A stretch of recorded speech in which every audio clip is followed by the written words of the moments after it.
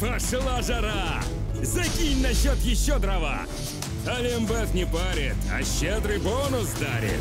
Зарегистрируйся, пополни счет и получи 30 тысяч рублей. Олимбет – народный букмекер.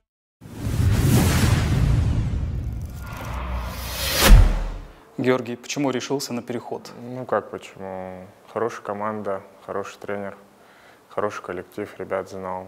Поступило предложение, подумал и сразу принял. А с кем из ребят был знаком? Ну, заочно был с ребятами знаком, на поле пересекались. Так лично ни с кем не был знаком. Уже успел заметить какие-то организационные детали, по которым видна солидность клуба?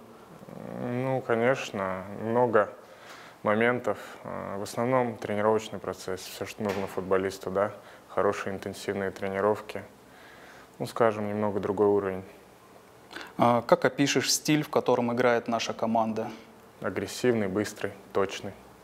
А Как тебе уровень конкуренции в линии нападения? За место в составе придется бороться с лучшим бомбардиром ФНЛ и одним из лучших игроков по системе гол плюс пас. Ну, конкуренция это хорошо, она будет меня делать сильнее.